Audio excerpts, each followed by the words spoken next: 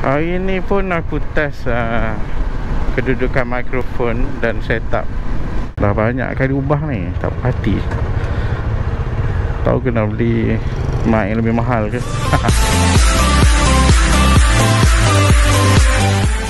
Bismillahirrahmanirrahim. Assalamualaikum warahmatullahi taala wabarakatuh. Apa khabar belako? Aku doakan uh, korang semua berada dalam keadaan sihat-sihat sejahtera hendaknya. Okey.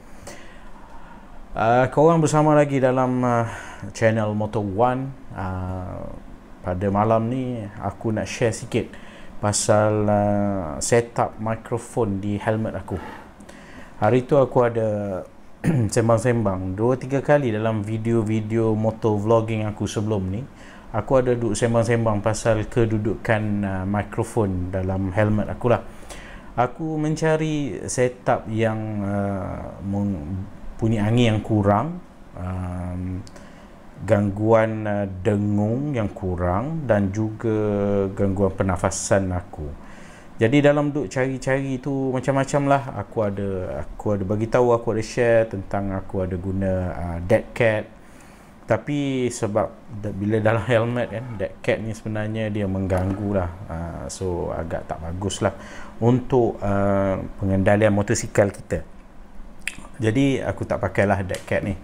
Kemudian uh, aku letak kat uh, bahagian atas ni. Okey aku letak bahagian atas ni.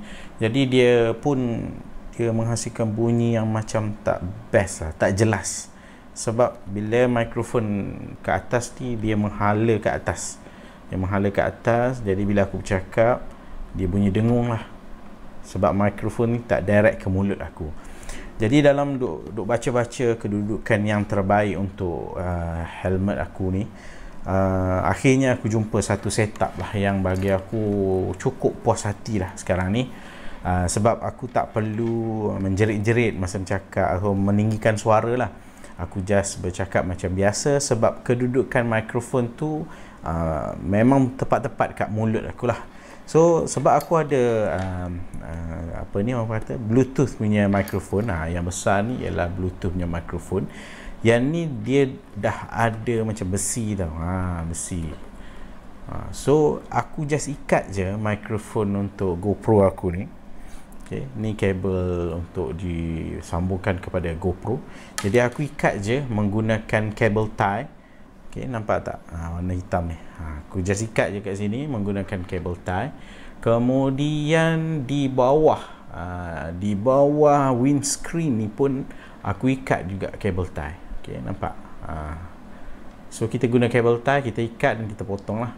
So, ada tiga kabel tie kat sini aku guna. So, bila ikat kat sini, angin tu jadi macam apa? Bunyi angin dapat dikurangkan dengan drastik lah. So untuk setup kali ni aku amat berpuas hati.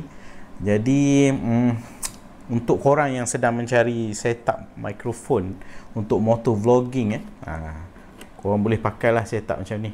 Sebab bila kita terutama untuk helmet yang uh, flip up eh, kalau helmet uh, full face uh, tak payah risau sangat sebab dia tak tak buka ni kan. Uh, dia memanglah selalu tutup. Kita just letak under dagunya lah tempat ni je.